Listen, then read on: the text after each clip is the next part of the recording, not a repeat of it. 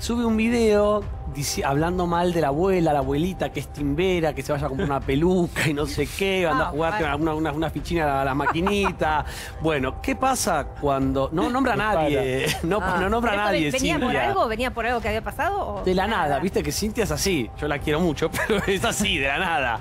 Eh, la hermana de Matías de Federico, eh, Maki, subió un posteo, así- digamos, recogiendo el guante de lo que había subido Cintia sin nombrar a alguien, que es el que estamos viendo ahora en pantalla, Sí. que ella dice, mientras vos hacía, hacías videos hablando y deseándole la muerte a mi mamá, nosotros pasamos un domingo en familia. Espero que algún día puedas lograrlo.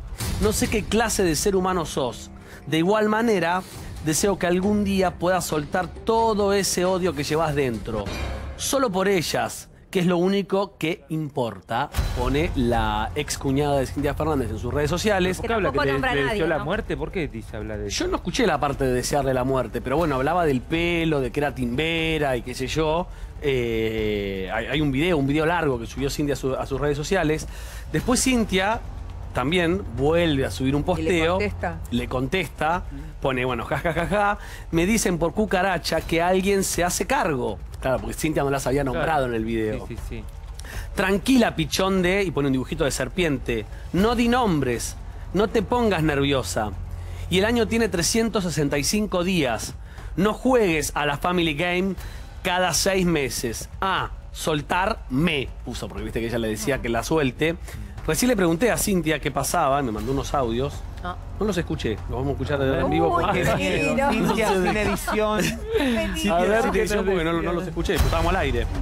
A ver, A ver, ¿qué? Papi, mi vida, ahí me pude.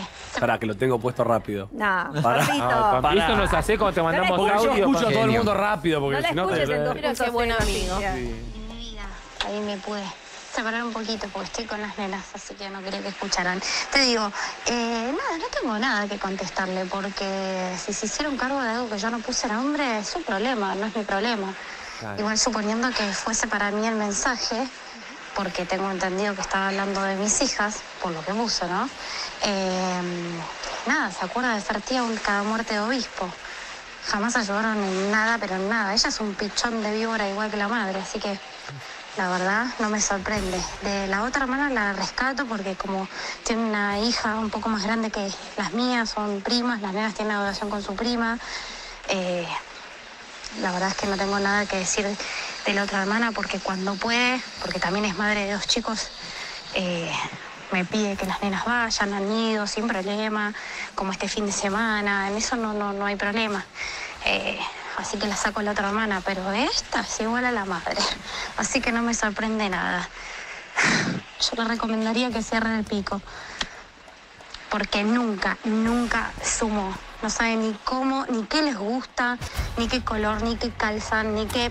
Nunca, sabe- ni siquiera las conocen. O sea, ¿qué se hace? La tía fatal por un fin de semana que la tengo que felicitar. Estaría bueno que hagan eso más seguido, ¿no?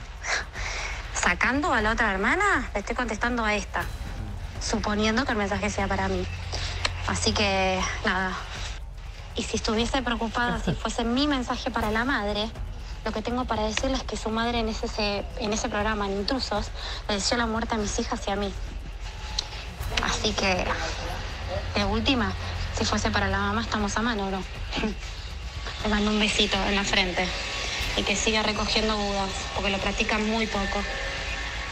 Ah, Dice- Pero pará, no, acá no, acá no dijo nada la No, madre. no, No, no. pero en dice este que me lo, que lo programa escribió se acá. acuerdan que Dice hace Cintia- mucho. Dice, lo esto del fue hace muñe- mucho. lo del que le- muñeco. que le dedicó la que le deseó la muerte. Supuestamente dice Cintia, la madre de Federico, a ella y a las hijas fue en intrusos, pero hace mucho. Ah. Yo eso no me acuerdo, pero sí a lo que se refiere con el muñeco fue porque se acuerdan que acá. Eh, Eh, Guati, ¿no? ¿Quién que- trajo el- claro, muñeco vudú? muñeco. No, porque lo, no, lo que dice del Buda, es, te lo explico, porque también me lo contó, es que eh, tiene la, la- la casa llena de Budas, dice, pero son malísimas.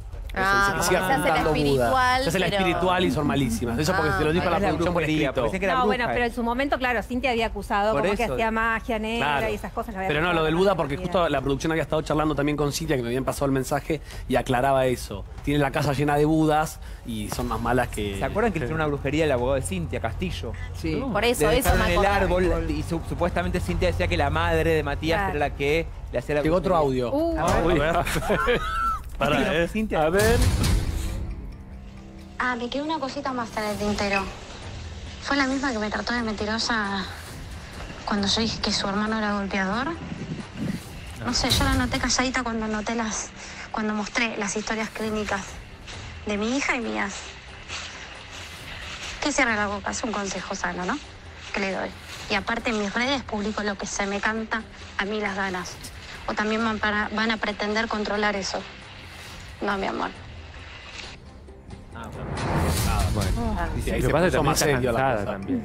Y está Sí, cansada, sí, un montón de cosas. Igual ojalá que, que estos, en- así como lo- ella lo dice, me parece un poco irónicamente, un poco en serio, esto de que ojalá sean más los encuentros con la familia de él, Sí, que se ocupen más y por que las no nenas. sea, ojalá, Obvio. porque Mira, eh, la verdad que yo he tenido charlas fuera de cámara con Cintia y según lo que ella me dice, es que ella con las nenas tiene mucho cuidado de no hablarles mal del padre, de no hablarles Sí, mal de la. ¿Sabés cuál es de- el de- de problema? que las chicas tías. están creciendo y empiezan a ver todo. Por más que ella no lo Claro, cuente. celular, todo quedó registrado, todo lo que Cintia le dijo al eh, padre, bueno, la madre le dijo a Cintia. Sí, tal Como cual. dice Guido, lo que dice en el audio, ella dice, me corro eh, aguardamos, un segundito, eh, Pampito, porque le voy a preguntar. Ah, Tenemos una, un- una super semana de estrenos de teatro, Laura. Impresionante. Bueno, Buenos Aires se pone a tono con todo.